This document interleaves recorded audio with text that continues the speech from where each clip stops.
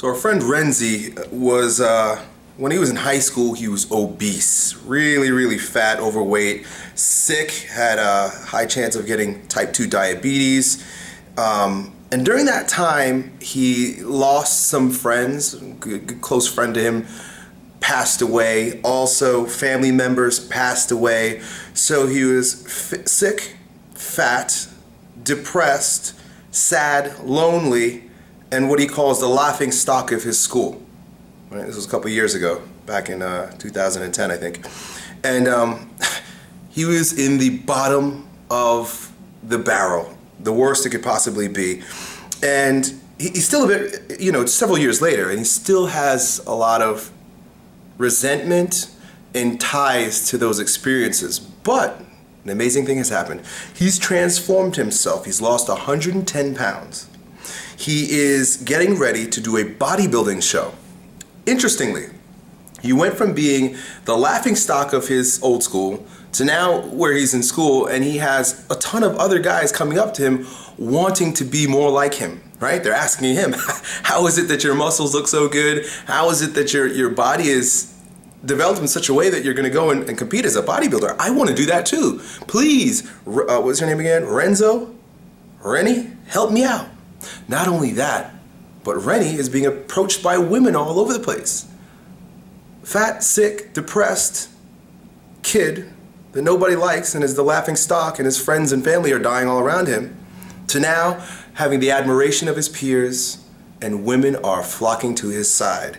The problem is that he still doesn't see himself as he presents himself. He still sees himself as that thick, sick, fat, depressed kid that nobody likes. I totally understand. I know this sounds weird. A lot of people watching this will be like, dude, what is your problem, man? You're, you're in good shape now, and women want to talk to you, and you're still complaining like you're a sick fat kid? What's up? I could tell you, and the reason why I took your question is because I've experienced the exact same thing. Now, the context is the same, but the content is different. And, and it's been a challenge for me. And what I'm talking about is coming from being deeply in debt, broke, like can't put gas in the car, really poor, right? Just, you know, five, six years ago to now where I can comfortably say that I have the things that I need. I can spend money on nice things today, right? But I've had a difficult road, not only in digging out of the debt and the destitution that I came from, but in accepting it when things started turning good. Things started getting good for me, right? In the same way, and I'm using this in contrast to your story. This, things started getting good for me. In other words, like I didn't have to worry about how I'm going to pay the bills. In fact, I've got extra, a lot extra left over at the end of the month. Probably about 18 months ago, you know, about a year and a half ago things started getting good. And that's when the anxiety came in. That's when I started worrying. That's when I didn't feel good about myself anymore. I knew who I was when I was broke, but now I'm confused. Uh, or, you know, about that time I started getting confused and I spoke to a good mentor, friend, and therapist of mine, Dr. Glazier. And at that time, I shared these ideas with him, what's going on with me, and he, he said one thing. He made, he made one statement. He said that you have to catch up with your reality. And at first, it didn't mean much to me because I was like, dude, I'm asking you for help here and you're telling me I need to catch up to my reality. And he started pointing out all the great things in my life. He said, you know, you've got this, you've got that, you've got that you're not broke anymore, you're not destitute anymore, you're not that guy anymore. Look around you. And I'd look around and I'm like, yeah, I mean, things are good, but still, when is it all gonna fall down? When is it all gonna collapse? When am I gonna go back to having to, you know, beg for, borrow money to put gas in my car? When is that going to happen again?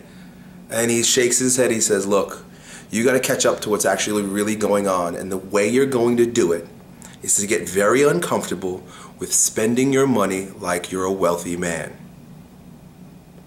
wait a second. So I'm, you know, here I am, like I just got a little bit of money and I'm starting to save it up a little bit. And he says, go and buy furniture for your wife. I, I, you know, I mentioned that, you know, Colleen would like some new chairs around the dinner, dinner table. You know, we've got old, like, we had like those chairs that you, you flip open, you know, what do you call those, portable chairs? You know, so we had those around the table, and I'm like, our chairs are good. Our chairs are fine. Why do I need to go and spend six, seven hundred dollars on, on chairs? Come on. So go and buy her the chairs.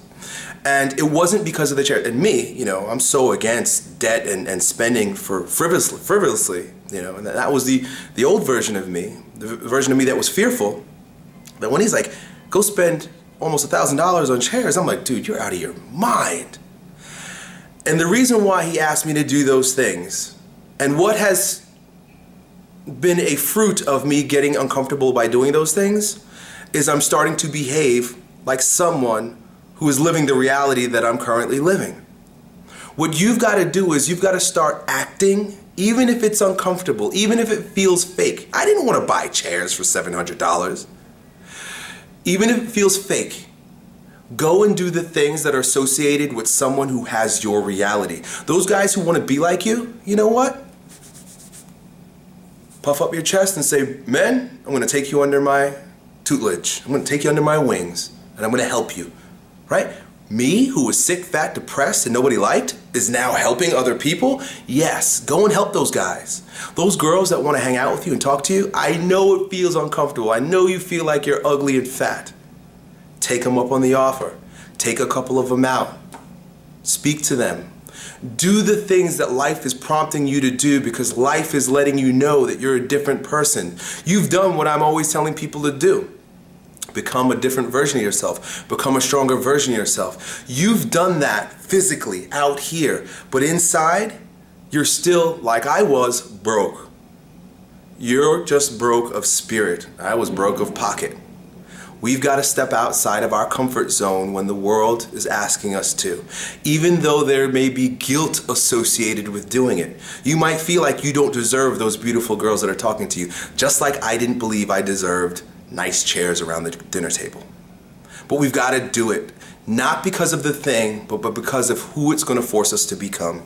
So that's it, my man. Congratulations. Good luck. Step out there and allow life to give you the beautiful things that you've earned. Good luck.